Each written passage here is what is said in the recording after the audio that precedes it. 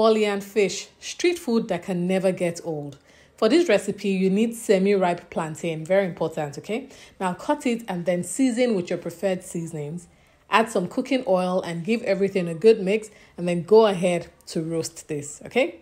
While that is roasting, you're going to make your pepper sauce. I'm using some tatashe, onions, shombo, and rodo. Blend, but don't blend too smoothly.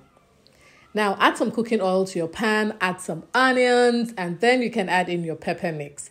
Give it a good mix and cook for a while. Then season. For this sauce, you don't need a lot of seasonings or spices, all right? Cook this for a while and then add your cleaned roasted banla fish. Finish off with some shredded utazi leaves, and there you have it perfect sauce. At this time, your bolly would have been well roasted. Guys, Port Harcourt bolly and fish no do pass like this. What do you call it? Bolly or bole? Let me know. Thank you so much for watching.